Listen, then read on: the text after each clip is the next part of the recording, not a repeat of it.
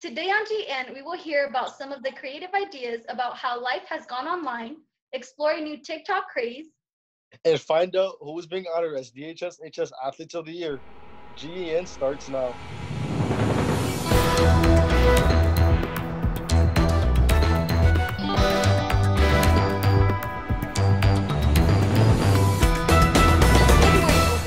I'm Janessa Baza. And I'm Christopher Robinson. Classes start back up on Monday, May 4th online. If you haven't checked in on Classroom with your teachers, it's time to do that.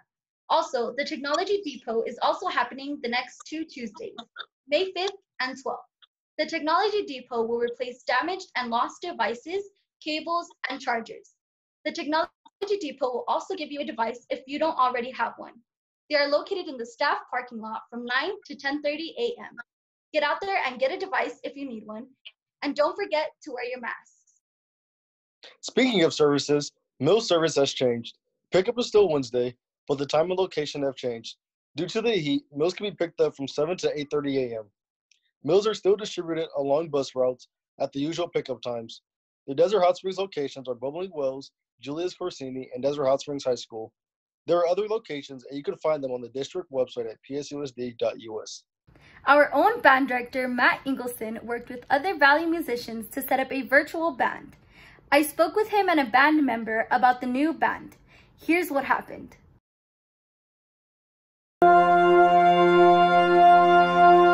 What, Mr. Ingleson, what gave you the idea to put on this virtual band? First uh, couple days of the quarantine, we were just on Facebook, and uh, one of the, the band directors in the Valley had posted a video of a uh, virtual concert band uh, from Georgia that had like 500 people in it, and uh, and I watched it and uh, kind of figured out how to put it together, and uh, we built a website and just spread it through all the band directors in the valley. Um, Declan participated in the, the very first one, and uh, we ended up actually with like 83 different 83 different submissions to that first one and it's uh, and it's just like growing and, and spreading out a little bit further from uh, from that first time.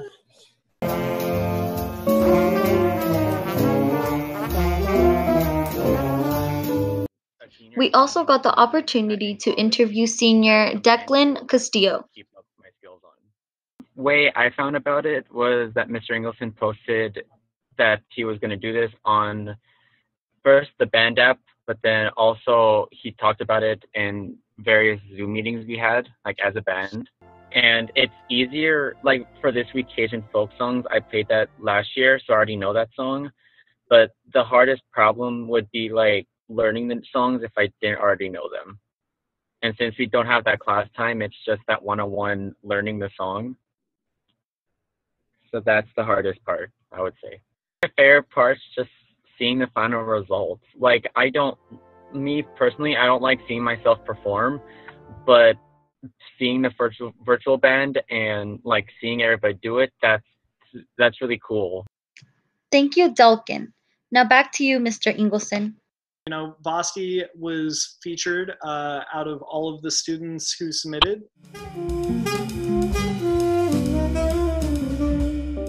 Uh, in the in the valley and then uh, last week the last concert band one in week two we had uh, about a half dozen people from dhs that all submitted videos.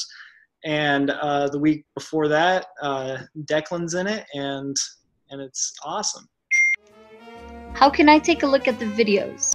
Uh, all you have to do is type in matthew ingleson uh, and all the all the videos are are right there for CV Virtual Concert Band. You can search on YouTube. It's all it's all right there. We have challenge one, two. Make sure to watch weekly challenge number four that comes out today. Don't miss out. My name is Stephanie Rodriguez and I will be studying political science this fall at UCR. Hi, my name is Bhavna Kasha. I will be studying computer science this fall at Cal Poly Pomona to become a computer software engineer. Hi everybody, my name is Declan Costello and I have applied, gotten admitted, and I am committed to going to California State University, Sacramento. And I am going to be a music education major.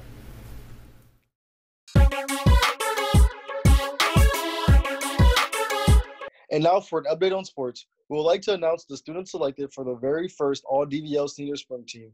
Although our spring sports seasons were cut short, athletes who demonstrated skills and sportsmanship were selected to make up the Senior Spring Team. Those students are for baseball, we have Artemio Morales and Donovan Walter. For softball, we have Atsiri Gallardo Rendon. For track, we have David Robles and Jada Smith. For swim, we have Carla Lopez and Thomas Coleman. For boys tennis, we have Eric Hernandez Rodriguez and Felix Tejada. And last but not least, for boys golf, we have Hector Martinez. Congratulations to those students. And GEN is proud to be the first to announce the Desert Hot Springs High School Athletes of the Year. Um, Would you like to give that to us now? Yeah, I can, I can give that to you now. Alrighty, brother.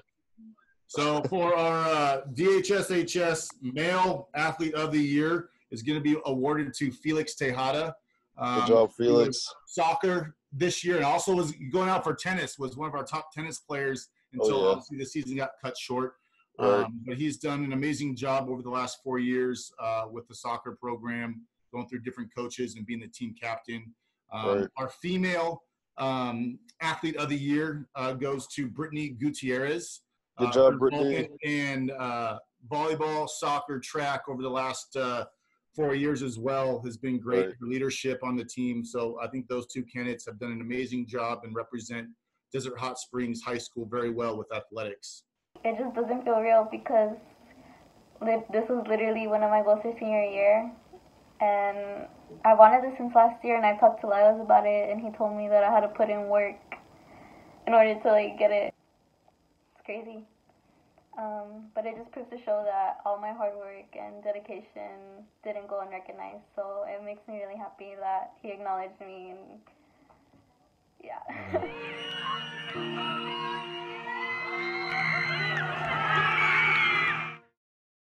While we had Lyles on the line, we asked a few questions about next year. Let's see what he had to say. Yeah, so currently, right now, we're in that position where we kind of don't know what's going to happen when the school reopens, right? Right. So we don't know if this is going to be like a soft opening where they say, hey, only half your enrollment can come in the first couple days of the week, and then the second half, we have no idea what this could look like. Right. Um, I know that as far as CIF sports are going, they are working on uh, some calendars uh, depending on when they, they open. I mean, I've heard talk that they may try moving football to spring season next year.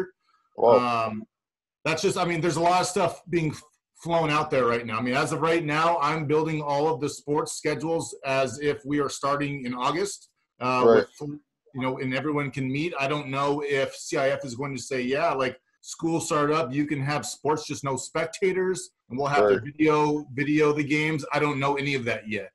Got Um, it. but you know, as the weeks kind of get closer and closer, hopefully we'll be finding out more information. Staying active is important, isn't it? It's hard. What do you do to keep physically active and stay in shape, Chris? I try to work out on a daily basis, and now I'm working five days a week. What about you? Well, I've been going on hikes and taking a swim in my pool with this heat that we've been having. You really have to get creative when you're stuck in one place. I'm glad you said that. We have a segment about getting creative during this pandemic. That's right, and we will hear from Caitlin Castillo about the new TikTok craze. Let's take a look. There's a little creativity in all of us. During these times, people are using their creativity for the benefit of themselves and the public. For instance, events and jobs. But how are people doing these things, you may ask? Well, virtually. Yes, we know things like school are now held online, but what about other things like live TV or a movie theater? Well, you gotta work with what you have. For instance, check out SNL. For the first time in 45 years, it was not performed in front of a live studio audience. Instead, broadcast is on YouTube, recorded with Zoom. Here they are, a special appearance by Howie Hot Wheels and the Lego Kids. Go Howie, go Howie, go Lego, go Lego. Get speedy, get speedy, get crazy. On the movie theater side of things, theaters like the Palm Springs Camelot will allow us to rent movies and pick up popcorn to go from the theater. If you thought that was it, sorry to burst your bubble, but music events aren't safe either. As an example, Burning Man, and some people are even performing inside their own house.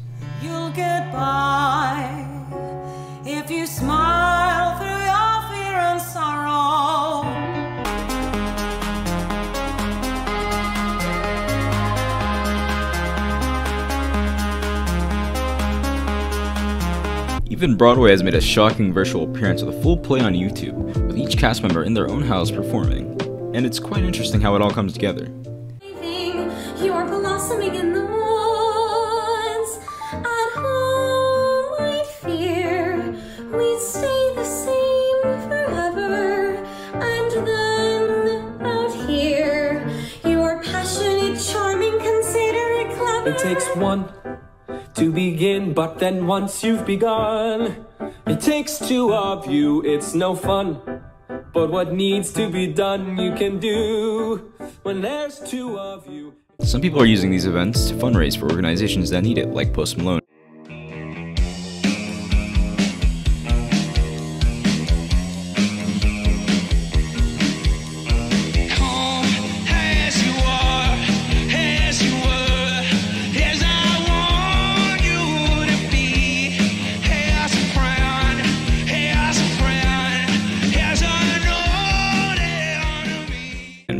Rock Paper Scissors video. to this $250,000 rock, paper, scissors tournament. But here's the thing 32 entered, but only one will win. Mark and Lauren DIY. Ooh. Oh. oh, okay. Let's go. Okay. Ooh, Okay. Oh! Ooh. Alright. is out. Oh, great shot.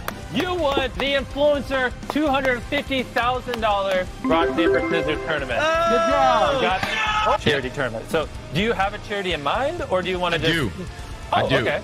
Yeah, so earlier this week, uh, one of my best friends in this world, uh, Jack Kirsch Dunlop, just lost his grandmother. So I want to pledge the $250,000 to the CDC Foundation and do my part. Just goes to show how people are using their creativity to make give a positive message and still have fun during these times. Be a G and hope you can have fun and be a little creative yourself. Today I'm gonna make whipped coffee, so stay tuned to watch me make it. So the things that you're gonna need are gonna be coffee, sugar, something to measure the coffee and sugar with, a bowl, milk, a little bit of warm water, and a cup. So what you're gonna do first is you're gonna grab two equal parts of coffee, two equal parts of sugar, two equal parts of warm water, and you're gonna mix it all together to get a fluffy like consistency.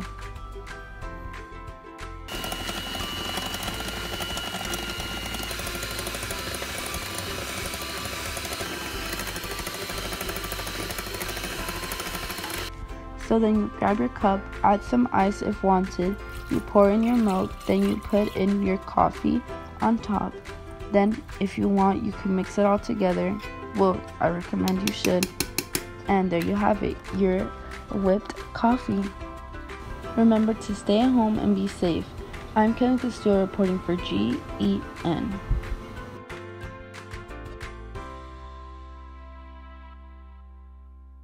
That coffee looks good. Are we done here? It might be time for some caffeine. Not yet. Before we close, what about the seniors? Do you have any good news?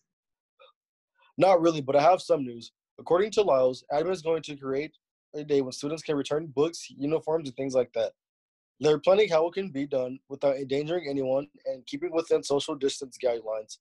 Also, Heather is working on refunds now, and as soon as they are ready, she will contact seniors and their families and start mailing out refunds for the senior packages. Thanks for that.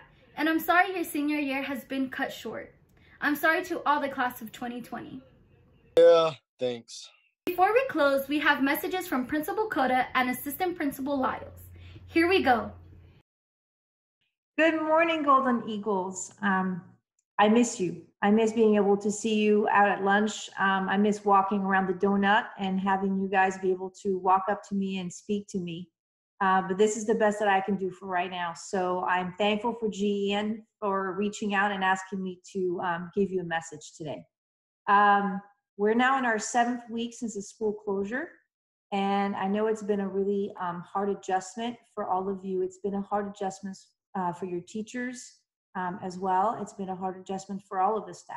And it's been difficult for us um, all to be away from school. And we're also dealing with um, the difficulties of being with our families all the time or being separated from our families all of the time.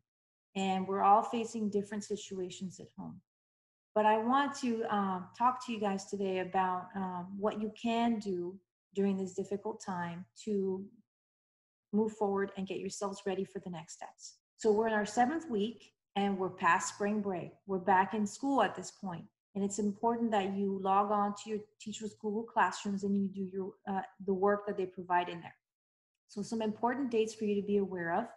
This Friday is the deadline for you to make up any uh, missed assignments from third quarter or to complete supplemental assignments that can improve your third quarter grade. That's very important because your semester grade cannot be lower than your third quarter grade. However, any work that was assigned to you before we uh, closed the schools, if you did not do it, even if it wasn't graded by March 13th, that can impact your grade. So you need to get in touch with your teachers and make up assignments you missed before March 13th. Starting next week, we will begin uh, quarter four. And so the question we've been getting is, well, why should I do any work if my grade can't go down? And so the answer is a little different for uh, different grade levels. For seniors, your colleges are still expecting your final transcripts, and you must show C's or above in all of your classes, or you could potentially lose your college acceptance. So it's extremely important that you complete that work. And for our 9th through 11th graders, please understand that teams of teachers from across the district spent spring break creating lessons for you um, to make sure that you don't fall behind. What they looked at was what was the most important thing that you needed to do in each subject in order for you to be prepared for your classes for next year, to make sure that you can be successful next year. So completing those lessons not only will improve your grade in your classes, which will be a positive thing, but also will help prepare you to be successful in your fall classes. So be sure to get in there and take care of that work. And uh, now I have a message for our seniors. Um, you can see I'm wearing my red today. And, um, you know, I know that you're grieving, and I wish that I had the right words for you, but there are no right words at this time. You're all going through a very difficult time, and you're feeling a huge sense of loss, as seniors across the nation are. In Riverside County, we have um, faced more loss to coronavirus than in many other uh, counties in the state. And so, although California has done really well with its response to the coronavirus, our particular county was hit hard early on, and that's why things are so restricted here. It will take several weeks or months for our health agencies to um, allow some release of the stay at home orders. And it's for that reason that um, throughout the Coachella Valley, all three of our school districts have opted for virtual graduations. I know that was not the news that you all wanted. I know you wanted to have some other in person celebration, but at this time, it's just not possible. If things were to change, we would absolutely make changes to our plan. But for the meantime, we must have a plan for you to celebrate your graduation. You see, it's not about walking across that stage. It's about the fact that you earned the right to walk across that stage. You earned that high school diploma and we need to celebrate you in some way. So that is why we're going to have a virtual graduation. We're also looking at um, a system for you to come pick up your caps and gowns. And we have uh, yard signs coming your way so that you can put them out in front of your homes or in your windows to let the whole community know that you've achieved this huge accomplishment in graduating from high school. So be looking for more information on when to pick up your cap and gown so that you can take those pictures and celebrate with your family. Like you, I'm a senior this year. Some of you probably don't know, but for the past three years, I've been in school as well. And I've been going to, to school every Saturday with the same group of people. And like you, we were all ordered to stay home for the end of our program. So I have a little bit of a feeling of what you're going through. But you know what? we've accomplished something and we should all be very proud of ourselves. Don't let this virus keep you from celebrating the best way that you can.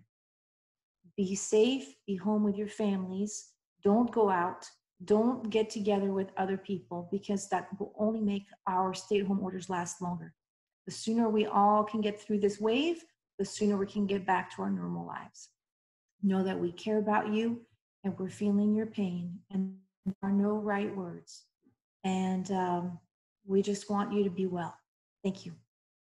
Um, again, I apologize that the season was cut short. I love sports. It's my number one thing of my job and working with kids and just seeing them excel uh, on the playing field in the courts. So uh, unfortunately, season was cut short, but uh, you know, we'll as Golden Eagles, we'll come back and we'll try to fight for those league championships next year. Definitely. Okay, now can I go get coffee? You can. And for you, Golden Eagles, we'll see you May 15th for our next episode. Be sure to subscribe to our YouTube channel at Golden Eagle Network, where you can see this and all of our past episodes. I'm Janessa Baza. And I'm Christopher Robinson.